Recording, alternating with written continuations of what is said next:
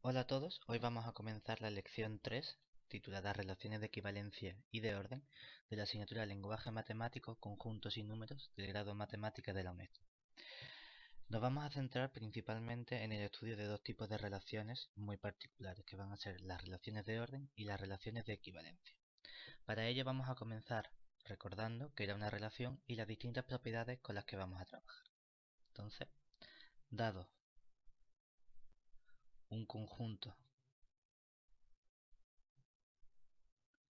X distinto del vacío, decimos que R es una relación definida sobre X si R era simplemente un subconjunto del producto cartesiano de X por X.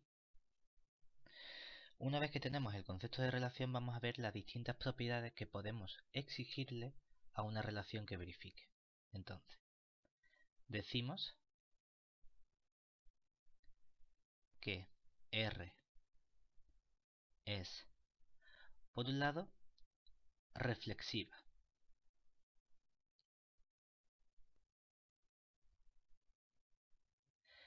Tiene que verificarse que cualquier elemento X esté relacionado consigo mismo.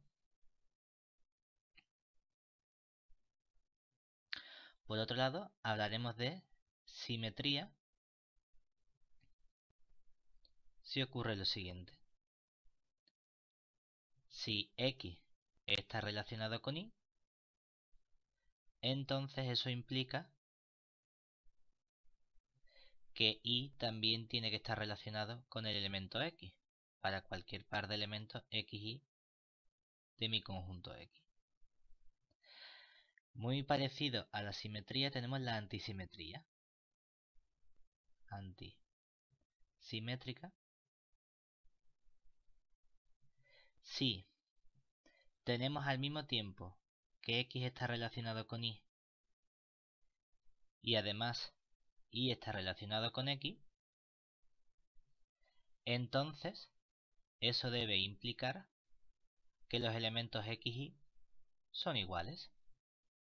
Y por último, tendremos la propiedad transitiva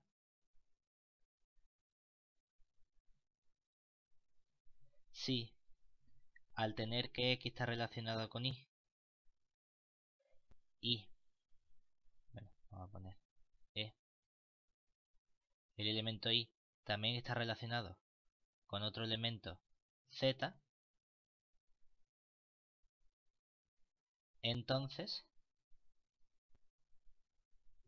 tenemos que el elemento X está a su vez relacionado con el Z.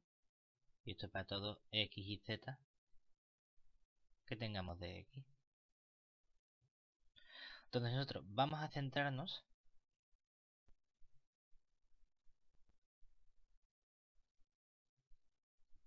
en dos relaciones.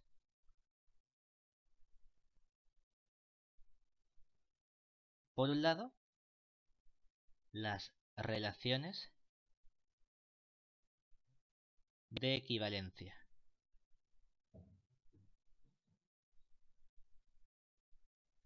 Y por otro lado, la relación de orden.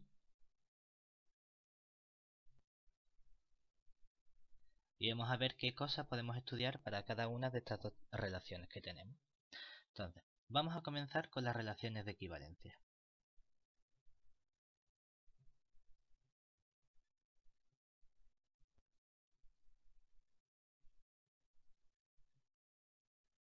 Entonces, ¿Qué va a ser para nosotros una relación de equivalencia? Debe verificar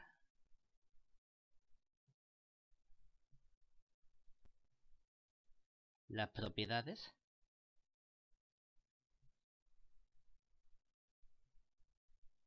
de, por un lado, reflexividad, Por otro lado, simetría.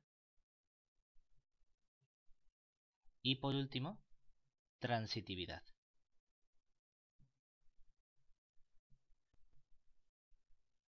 Es decir, para nosotros una relación de equivalencia no es más que una relación definida sobre un conjunto X no vacío que es reflexiva, simétrica y transitiva. Además, podemos definir los siguientes elementos sobre una relación de equivalencia. Dado un elemento X perteneciente al conjunto X, definimos la clase de equivalencia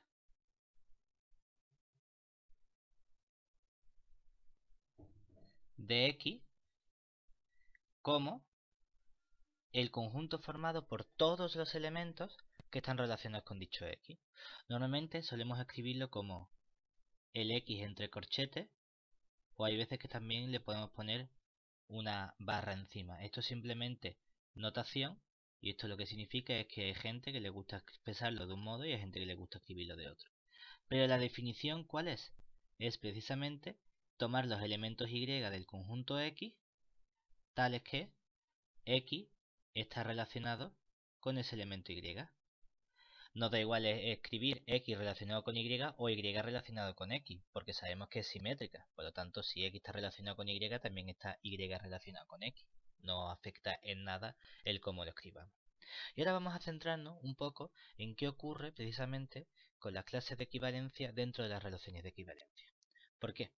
Porque por un lado, cuando tomamos o cuando elegimos un elemento y perteneciente a la clase del x, dicho elemento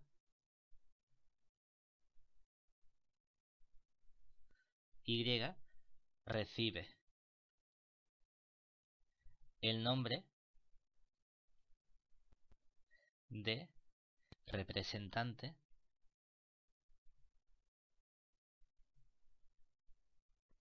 de la clase de X. Da igual cuál tomemos, ¿por qué? Porque si tomamos dos representantes, como están en la clase de equivalencia, es decir, si tomamos un elemento y y un elemento y tilde, ambos que estén en la clase del x, entonces ¿qué sabemos? Por un lado, tenemos que y pertenece a la clase del x. Luego, el y está relacionado con el x. O podemos escribir que el x está relacionado con el y. No da exactamente igual. Además, el y tilde también está en la clase del x. ¿Eso qué significa? Que el y tilde está relacionado con el elemento x o que el x está relacionado con el y tilde. Pero si por ejemplo nos fijamos en que y esté relacionado con x y que x esté relacionado con y tilde, tenemos la propiedad de transitividad, lo cual nos dice entonces, por ser la relación R una relación de equivalencia, en particular es transitiva, y eso nos dice que el elemento y está relacionado con el elemento y tilde. En particular, si tenemos dos clases de equivalencia,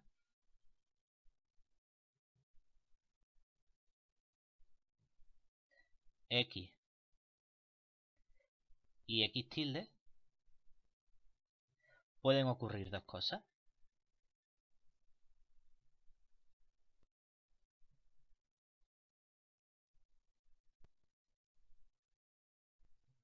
O bien la clase de equivalencia x coincide exactamente con la clase de equivalencia x tilde o la clase de equivalencia de x y la de x tilde no tienen ningún elemento en común, es decir, la de la intersección es el conjunto vacío. ¿Qué nos está diciendo? Esto lo que significa en particular es que no puede haber, lo podemos interpretar como decir que no existe ningún elemento y que pertenezca a la clase de equivalencia de x y a la clase de equivalencia de x tilde con la clase de equivalencia del x distinta de la clase de equivalencia del x tilde. Es decir, si existe un elemento que está en ambas clases de equivalencia, entonces las dos clases de equivalencia tienen que coincidir. O la otra opción es que no haya ningún elemento que esté en las dos clases de equivalencia. Avanzando con el concepto de clase de equivalencia, introducimos el concepto de conjunto cociente o espacio cociente.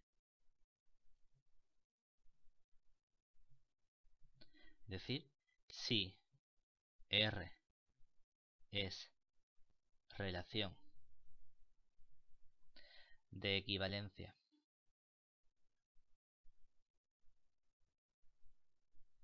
en X, definimos.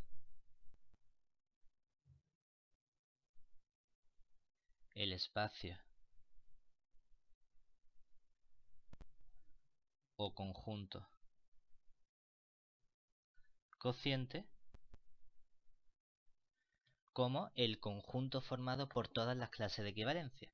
Solemos denotarlo con el conjunto X fracción con la relación que hemos elegido. Y esto por definición es el conjunto formado por todas las clases de equivalencia de mi conjunto X. Es decir, lo que tenemos que observar es que esto es un conjunto cuyos elementos X a su vez son conjuntos. Porque recordemos que la clase de equivalencia es el conjunto formado por los elementos Y pertenecientes a X, tales que el X estaba relacionado con el Y. Y estamos viendo todos estos conjuntos para cualquier elemento X perteneciente a mi conjunto X. ¿Qué nos permite hacer las relaciones de equivalencia con los conjuntos cocientes? Pues una cosa muy interesante. Y para ello vamos a introducir primero el concepto de partición de un conjunto. Entonces, decimos que la familia de conjuntos.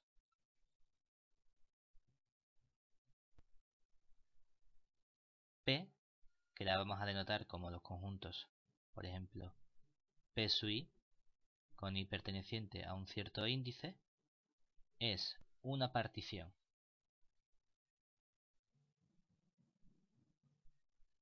De x si ocurren dos cosas. Por un lado, son disjuntos 2 a 2. ¿Qué significa eso? Lo que significa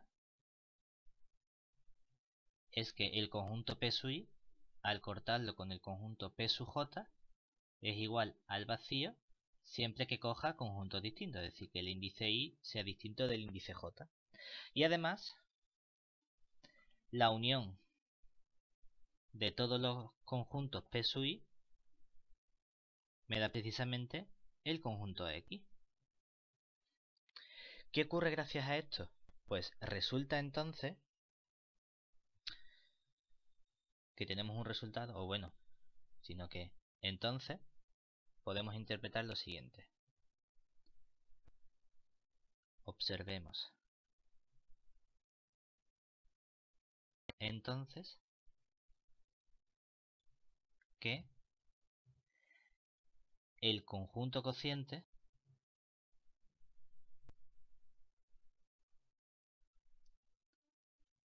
es una partición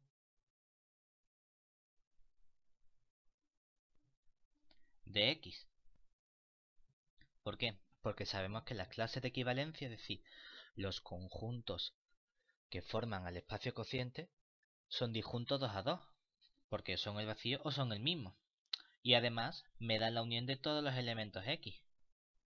Tenemos que entender que la relación que existe entre el espacio cociente y el propio espacio X, podemos entenderla como si fuese un puzzle. Es decir, nosotros tenemos una imagen que es el espacio total X. Pero si convertimos esa imagen en un puzzle, cada una de esas piezas es una clase de equivalencia. Cuando las pegamos todas las piezas entre sí, me devuelve toda la imagen X que tenía originalmente. Lo único que dividida en los trocitos que podemos observar ahora que son las piezas, es decir, son nuestras clases de equivalencia. Con esto finalizamos el estudio de las relaciones de equivalencia. Y ahora vamos a iniciar el estudio del segundo tipo de relación que tenemos, que son las relaciones de orden.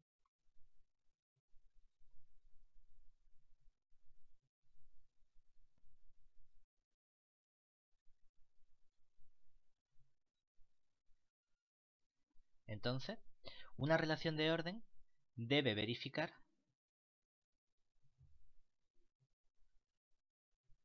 las propiedades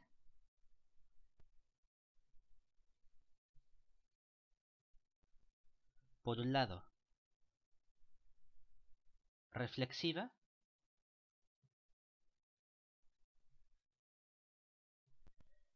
abajo tenemos también la transitividad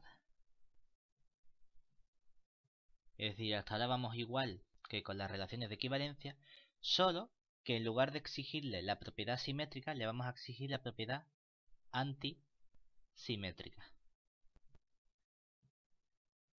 Es decir, a diferencia de una relación de equivalencia, en una relación de orden se tienen la propiedad de reflexividad, la antisimetría y la transitividad. Además, diremos que una relación de orden R es de orden total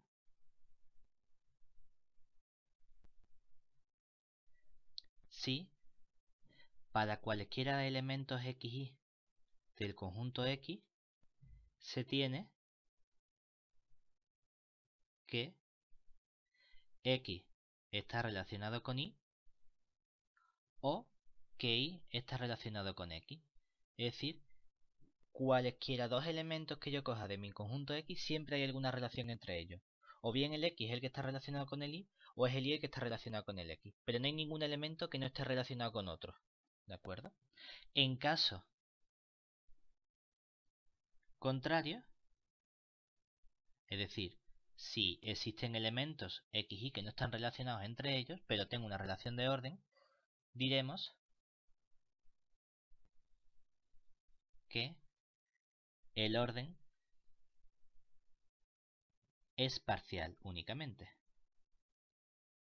Es decir, dentro del nombre de relación de orden tenemos dos apellidos que son el apellido de parcial o total, en función de qué está ocurriendo con cada una de las cosas. Lo que nos interesa con las relaciones de orden es que normalmente, como son relaciones de orden, nos gusta identificarlas con el símbolo de menor igual que estamos acostumbrados a la hora de comparar números reales, precisamente porque ese es un tipo de relación de orden muy concreto. Pero en general, nos gusta utilizar esa notación. Y entonces, cuando tengamos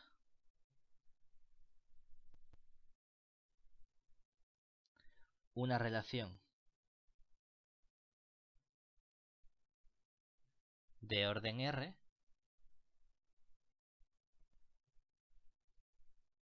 sobre un conjunto X.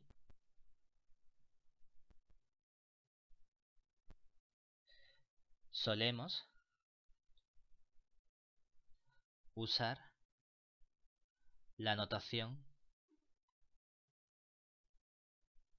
Y ahora esto es como un menor igual pero un poquito curvadito. Es decir es el menor así, menor igual. En vez de ser este símbolo menor igual recto, hacemos el símbolo del menor un poco curvado. Y es decir, utilizamos esta notación en lugar de la R de la relación. ¿Por qué? Porque bueno, como estamos con órdenes, esto nos induce a pensar un poco más en eso, pero no pasa nada, podemos utilizar la notación que más nos guste. Además, decimos que el par X con la relación de orden es un conjunto ordenado.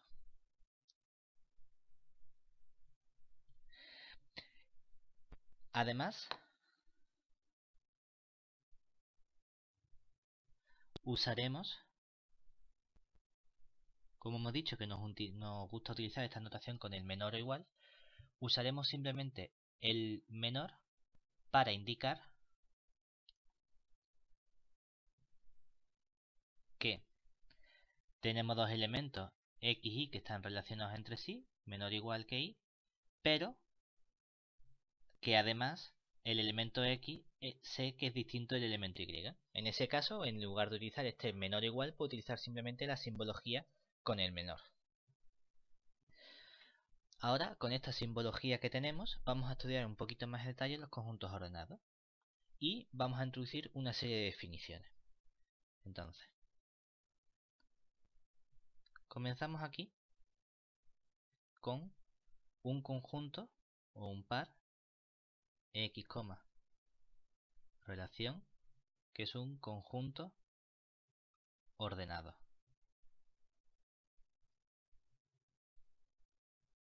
Entonces, si tenemos que un elemento A es menor o igual que B, en el sentido de que A está relacionado con B, con esa relación que hayamos definido, llamamos.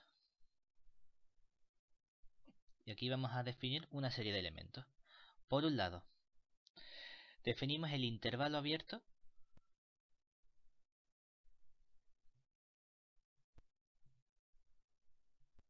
que va a ser el conjunto A, B, que esto es la notación, la forma de escribirlo, y esto lo que significa es que van a ser todos los elementos X pertenecientes a X, tales que A está relacionado con el X, pero estrictamente, es decir, no es igual que el elemento X, y el elemento X está relacionado con el B, pero no es igual. ¿Vale? Hablaremos de intervalo cerrado y lo entraremos con un corchete A, B, cuando pueden ser iguales los elementos, es decir, los elementos X pertenecientes al X mayúscula, tal que A está relacionado con el X o igual y el X está relacionado con el B o igual. Asimismo, hablaremos de intervalos semiabiertos, que vamos a tener dos tipos de intervalos semiabiertos. Intervalos semiabiertos. Alguien puede decir semiabiertos o semicerrados, depende de lo que más nos guste. Por un lado puedo tener paréntesis A, coma B y aquí el corchete. ¿Y esto qué va a significar? Van a ser los elementos X perteneciente al conjunto X, tales que A sea menor estricto que el X, menor o igual que el B. O puedo tener corchete A, paréntesis B, y esto lo que va a significar van a ser los elementos X de mi conjunto, tales que A sea menor o igual que X, menor que B. Por otro lado, vamos a trabajar con el intervalo inicial intervalo inicial abierto ¿Qué va a significar? La notación que utiliza el libro es con una flechita y aquí el extremo B aunque normalmente estamos más acostumbrados a poner aquí un menos infinito, que es simbólicamente lo que significa. Pero como no tiene por qué ser el conjunto de los números reales, en el caso en el que pondríamos esta flecha por el menos infinito, pues utilizamos esta notación. Van a ser los elementos x pertenecientes al x y lo único que voy a exigir es que esté relacionado por encima, es decir, que el x sea menor que el b. Hablaremos del intervalo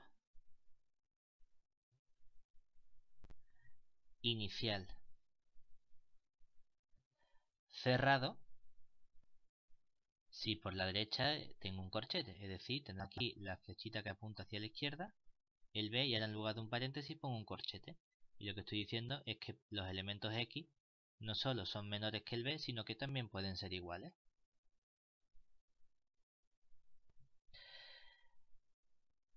De forma análoga definimos el intervalo y en lugar de inicial va a ser el intervalo final, es decir, lo vamos a tener en el orden contrario. Intervalo final abierto. ¿Qué vamos a tener en este caso? Vamos a tener el elemento A y una flechita que apunta hacia la derecha. Las flechitas siempre van a tener paréntesis, nunca van a tener corchetes, que son los elementos X pertenecientes a X, tal que el A es siempre más chico que los X que nosotros cojamos. Y por último, hablaremos del intervalo final cerrado si en lugar de un paréntesis tenemos un corchete, es decir, corchete A, coma, flechita, paréntesis, y este va a ser el conjunto de los elementos X pertenecientes al conjunto X tal que A puede ser menor o igual que el elemento X. Muy bien. Además, estas relaciones de orden nos van a permitir definir conceptos sobre un subconjunto del X. Y entonces vamos a trabajar con los siguientes conceptos que realmente ya hemos introducido en otra lección de otra asignatura, pero bueno, aquí lo vamos a repetir porque es interesante. Entonces, dado un par ordenado x relación menor igual, que va a ser un conjunto ordenado, y un subconjunto A de nuestro espacio X, decimos que, por un lado, un elemento X del espacio grande X es una cota superior del conjunto A si se verifica que X es más grande que todos los elementos, es decir, por ponerlo en el orden correcto, que A es menor o igual que el elemento X para cualquier elemento A minúscula que yo coja del conjunto A mayúscula. Además, diremos que un elemento X perteneciente al conjunto X es una cota inferior de A si el elemento X es menor o igual que todos los elementos A del conjunto A que nos hayan dado. Estas definiciones nos permiten decir cuando un conjunto A está superiormente acotado.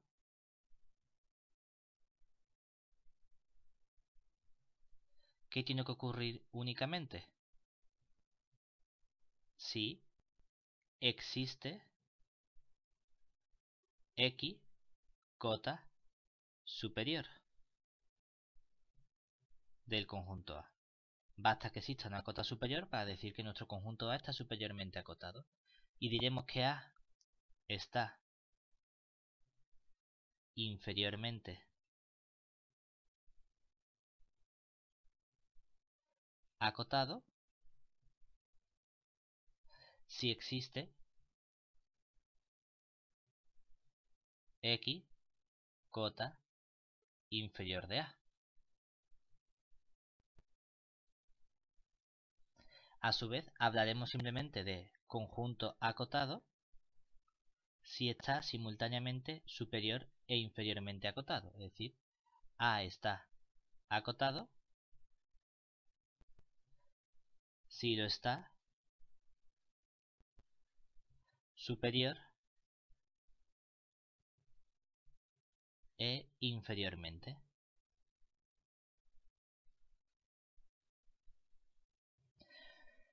Además, cuando trabajamos con las cotas superiores e inferiores, puede ser que haya muchas cotas. Entonces nos va a interesar fijarnos en una cota superior en particular y en una cota inferior en particular, que va a ser la más chica y la más grande que podamos obtener respectivamente. Es decir, la menor de las cotas superiores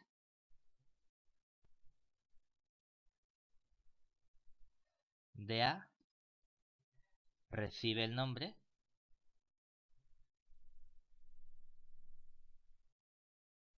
de supremo de A. Y lo denotamos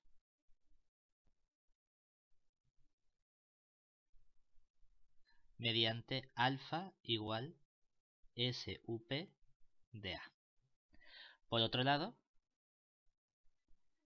la mayor de las cotas inferiores de mi conjunto A recibe el nombre de ínfimo.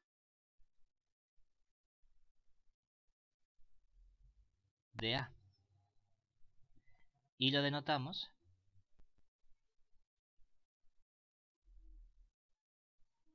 mediante beta igual a INF del conjunto A. Observemos que las cotas superiores son elementos del conjunto X, no tienen por qué estar en el conjunto A. Y lo mismo ocurre con las cotas inferiores, son elementos del conjunto X, no tienen por qué estar en el conjunto A. Es decir, el ínfimo y el supremo son a priori elementos del conjunto X. Si además, si el elemento alfa, que es el supremo del conjunto A, no solo es un elemento de X, sino que además resulta que también en el conjunto A, decimos que alfa es el máximo de A. Y por otro lado, si ese ínfimo que hemos llamado beta, que es un elemento de X, además también resulta ser un elemento del conjunto A, decimos que, beta es el mínimo de A. Es decir, no es lo mismo ínfimo que mínimo. El mínimo es simplemente un apellido, una caracterización que me dice que ese ínfimo además está en el conjunto A inicial con el que estamos trabajando. Y aquí tenemos un primer resultado que nos va a permitir estudiar las relaciones que existen entre estos ínfimos, supremos o mínimos y máximos. Por un lado, si tenemos X, que es un conjunto. Ordenado, y A un subconjunto de X. Entonces, se verifica, por un lado, si existen el máximo o mínimo de A, entonces es único. Es decir, no puede haber dos máximos de mi conjunto que sean distintos. Lo mismo ocurre si el lugar como máximo y mínimo son simplemente unos apellidos que le ponemos los conceptos de supremo e ínfimo, pues precisamente si existe el supremo o el ínfimo de A, entonces también es único. Realmente la primera, la primera afirmación es una consecuencia de la segunda. Además, tenemos una caracterización precisamente de lo que es el elemento máximo mínimo, es decir, si existe alfa igual al supremo del conjunto A y además alfa es un elemento de A, entonces alfa es el máximo. Y lo mismo ocurre con el mínimo, es decir, si existe beta igual al ínfimo del conjunto A y resulta que beta pertenece a A, entonces beta es el mínimo.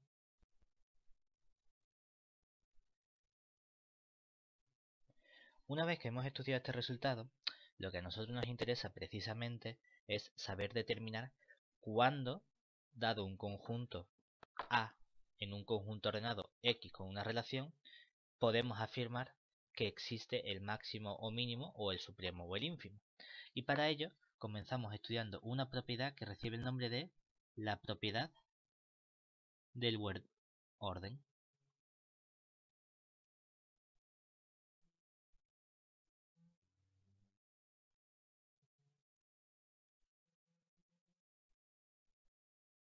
¿Qué nos dice esta propiedad precisamente? Pues que si x con mi relación de orden es un conjunto ordenado, decimos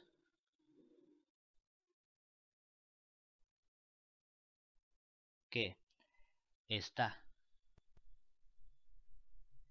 Bien. Ordenado si para cualquier subconjunto A de X con A distinto del vacío, porque obviamente queremos que tenga elementos, si no tiene elementos no hay nada, verifica que existe el mínimo de A.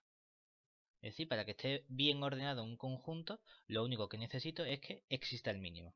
No me importa saber qué ocurre con el máximo, únicamente que existe el mínimo. Además, dicho mínimo recibe el nombre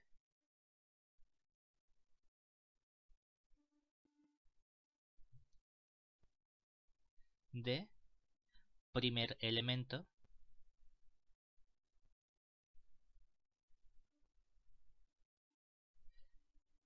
del conjunto A.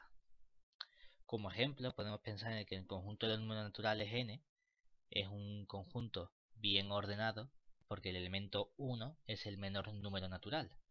Sin embargo, si pensamos en los números enteros, también es un conjunto ordenado, pero sin embargo no hay un primer, un primer elemento, porque no puedo decir el menos 14 es el más chico porque hay otro menor que es el menos 15, o el menos 10 millones, porque entonces está el menos 10 millones 1. Entonces el conjunto de los enteros no es un conjunto bien ordenado, aunque sí existe un orden, porque sí puedo estudiar qué elemento es menor que otro elemento. Esta definición del buen orden nos lleva precisamente a caracterizar a los elementos o los conjuntos que tienen supremo, gracias a una propiedad que llamamos la propiedad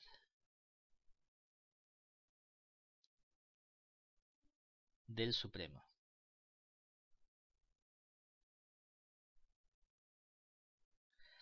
¿Qué nos dice la propiedad del Supremo? Nos dice que un conjunto ordenado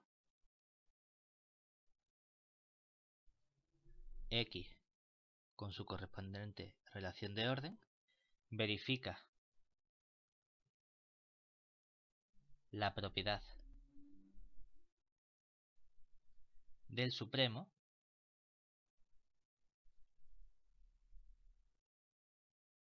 si para todo subconjunto A de X,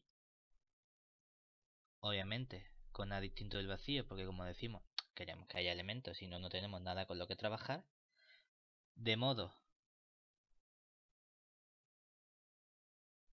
que a este acotado superiormente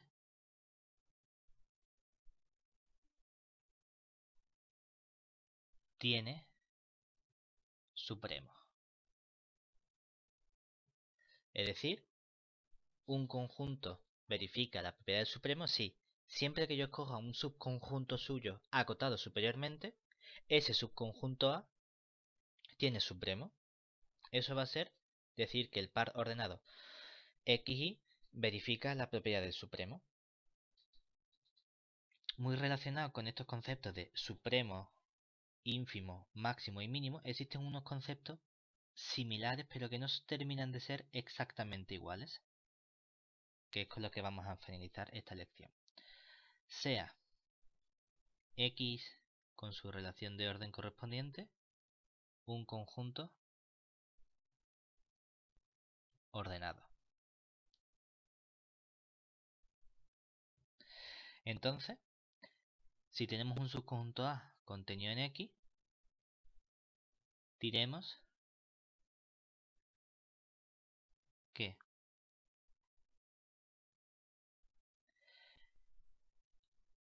el elemento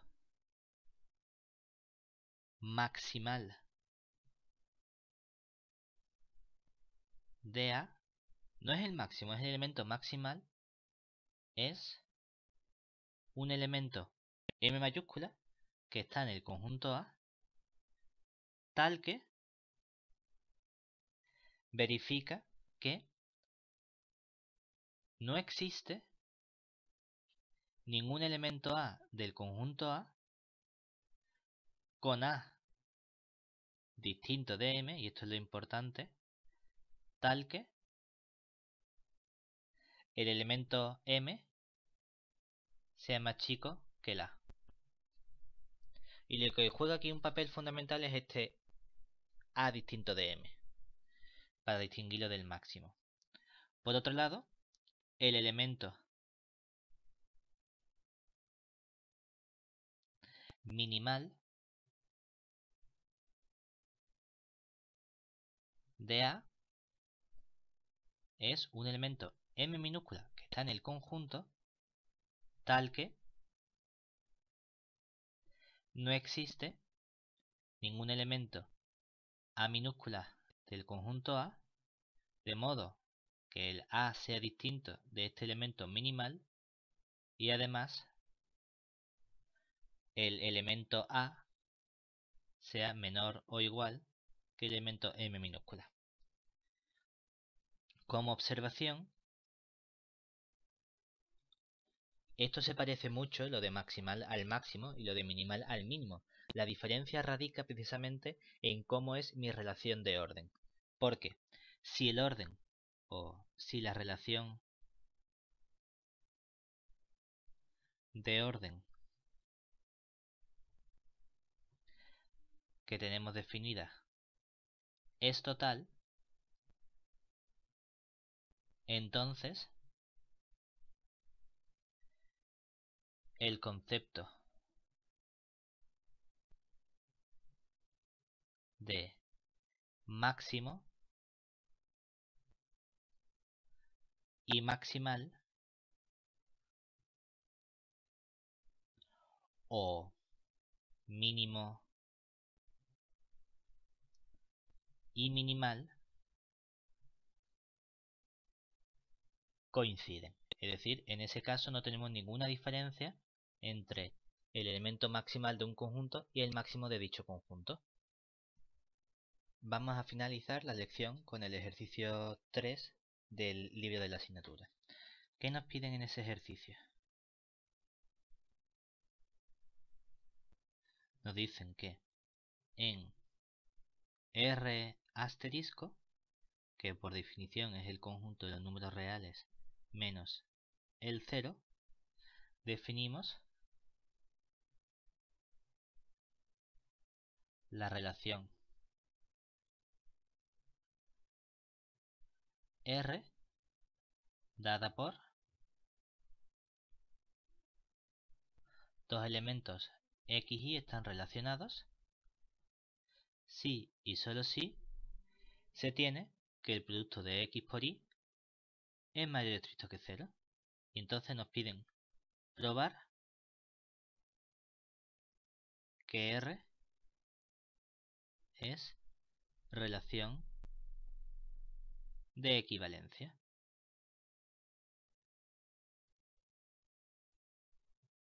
Y estudiar las clases de equivalencia.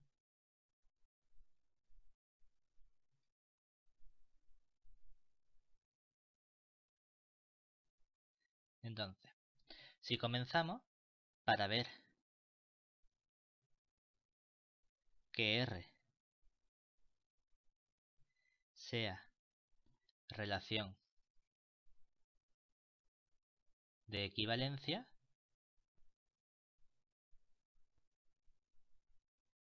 vamos a estudiar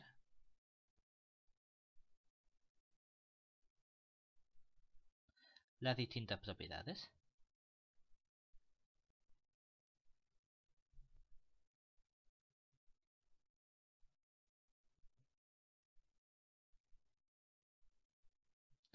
Por un lado, comenzamos con la reflexiva.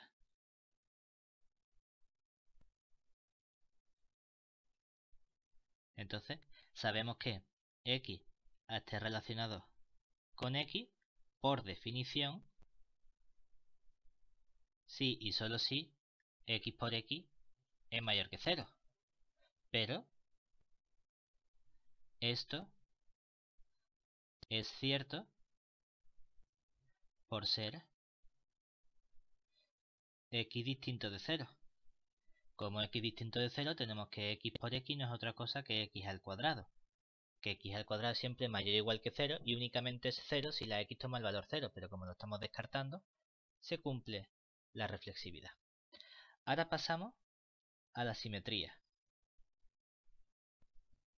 Y entonces partimos, ojo, yo no tengo que probar que x está relacionado con y. Yo lo que sé es que x está relacionado con y y usando eso quiero demostrar que y está relacionado con x.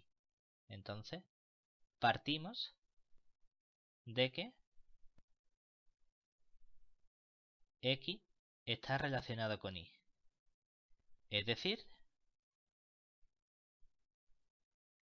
¿qué significa que x está relacionado con y? Por definición, tenemos que eso significa que x por y es mayor que 0. Pero sabemos que el producto de números reales es conmutativo. Es decir, da lo mismo escribir x por y que escribir y por x. Y entonces eso también es mayor que 0. Pero claro, si yo escribo y por x mayor que 0, esto es precisamente por definición que y esté relacionado con el elemento x.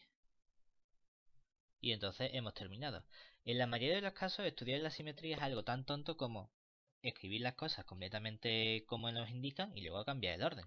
Hay veces que será más complicado, pero por norma general suele ser sencillo. Y por último, vamos a estudiar la transitividad. ¿Y qué necesitamos para transitividad? Ahora sabemos que x está relacionado con el elemento y y que Y está relacionado con un cierto elemento Z. Es decir, por un lado, X está relacionado con Y. Y eso significa, por definición, que X por Y es mayor que 0. Y por otro lado, tengo que Y está relacionado con Z. Y eso significa que Y por Z es mayor que 0. Pero claro, que x por y sea mayor que 0 lo que me significa son dos cosas. Por un lado, o que x e y son los dos positivos, o que x e y son los dos negativos. Y del mismo modo, cuando multiplicamos dos números reales distintos de 0, que son mayores que 0, que y por z sea positivo me dice que o y por z son los dos positivos, o y y z son los dos negativos. Pero claro, entonces, tengo una opción que es si xy es mayor que 0, como la y es positiva, tengo que estar en este segundo caso. Entonces, y z también tienen que ser mayores que 0. Pero claro, entonces, como la y es positiva y la z como la x es positiva y la z es positivo, tengo que x por z es positivo. Y esto significa, por definición, que el elemento x está relacionado con el z. Pero también puede ser que el x y sean negativos. Pero claro, como el y es negativo, entonces estoy en el caso de abajo. Eso significa que la y y la z tienen que ser negativos. Por lo tanto, si la x es negativa y la z es negativo, a multiplicar dos números negativos, el resultado es de nuevo positivo. Y eso significa también, por definición, que x está relacionado con y. Y entonces tenemos la transitividad. Ahora vamos a estudiar las clases de equivalencia. Y entonces, para estudiar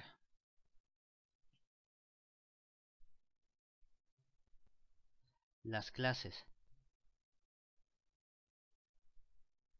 de equivalencia, tomamos un elemento X de nuestro conjunto R estrellita. ¿Y quién va a ser la clase de equivalencia del X? Por definición, son los elementos Y pertenecientes a R estrellita, tales que el elemento X está relacionado con el Y. Claro, pero nosotros sabemos por la definición de mi clase de equivalencia que estos son los elementos Y pertenecientes a R tales que x por y es positivo. Claro, y eso significa que el y tiene que tener el mismo signo de x. Por lo tanto, aquí tenemos que distinguir dos casos, porque ¿qué ocurre, por un lado, si el x es positivo? Si el x es positivo, los únicos elementos y que al multiplicarlos por x me van a dar positivos son los elementos positivos. Es decir, voy a tener todos los elementos y pertenecientes a R estrellita, tales que el I es positivo. Y por otro lado, ¿qué ocurre si el elemento X es negativo? Que entonces, para que al multiplicar algo negativo por un elemento Y me dé positivo, el Y tiene que ser negativo también. Es decir, que tengo dos elementos Y pertenecientes a R estrellita, tales que el Y es negativo. Pero claro, esto es lo mismo que escribirlo del siguiente modo el conjunto de los i distinto de 0, de modo que i es mayor que 0, lo puedo escribir en R precisamente como el intervalo 0, más infinito. Y esto sería si x mayor que 0. Y por otro lado, el conjunto de los i, tales que i es menor que 0, sería el conjunto menos infinito, 0. Si el x menor que 0. ¿Eso qué significa? Por lo tanto, dado un elemento X cualquiera, solo hay dos posibles clases de equivalencia, o la clase de los números positivos o la clase de los números negativos. Es decir, que el conjunto cociente R estrellita cociente con la relación R que hemos definido tiene dos clases de equivalencia. La clase de equivalencia del conjunto 0 más infinito y la clase de equivalencia del conjunto menos infinito, 0 y entonces hemos sido capaces de describir precisamente el conjunto cociente en función de sus clases de equivalencia. Y con esto finalizamos la lección número 3.